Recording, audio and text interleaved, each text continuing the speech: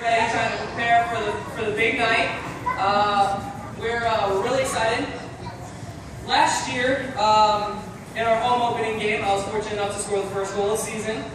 Uh, I was able to score the last goal of the season, and overtime goal, a whole bunch of goals. Run up in the stands, having a, blast with all the fans and stuff. So make sure you guys come out there, come say hey to me. If you can wave to me before the game so I know where you're at, maybe I'll run up in your section. You never know. Ross might be doing the same thing. Um, it took a lot to get here. It took a lot to become a professional athlete. You know what it took? It took a lot of hard work. And it took a lot of failure for me to learn how to become a professional. One of those things was by building just your character up. And, and what kind of what kind of things build up your character? Like what what what's involved when you talk about someone's character? What are things that you might say, oh, he's got good character, he does this. Raise your hand if you have something that maybe character is based off of. Yes, you right there in front.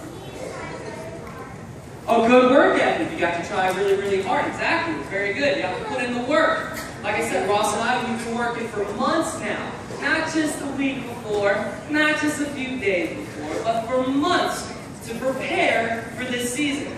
We work on our touches. Who can guess? Take a random stab. I get, I'm gonna let you in on a little secret. It's really high. How many touches average a day with that soccer ball? That soccer ball right there on our feet.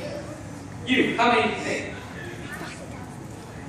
I'll tell you this, it has, it has four digits. It has four digits.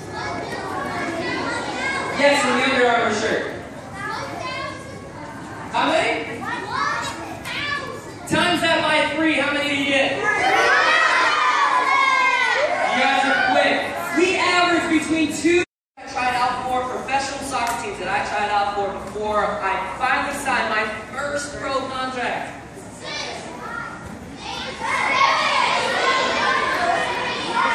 Raise your hand, first of all, when you answer questions. Second of all, I'll go ahead and tell you, it was 19! 19 teams! 19! It was crazy!